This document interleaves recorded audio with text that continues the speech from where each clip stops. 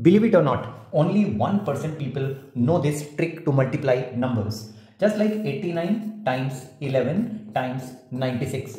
The answer is going to be a little bit bigger, right? So what do we do first is, we know that 89 and 96, they are very close to 100. So I am going to take up these two numbers first and look at the way I'm writing it. 100 minus 89 is 11 and 100 minus 96 is 4. When you multiply these two, you get 44 and subtract like this or like this, you will get the same answer. It is 85. Now this is the product of 89 and 96. Now I need to do 8544 times 11 to get my final answer and multiplication by 11 is really easy. Start with the unit digit 4, then add the last two digits 4 plus 4 8, then start with the second last digit and add the next two like this 4 plus 5 9 and then the next two 8 plus 5 13 so 3 and a 1 carry and we are done with all the pairs. So take the first digit and add the carry number 8 plus 1 9 and now pick up the calculators and check your answer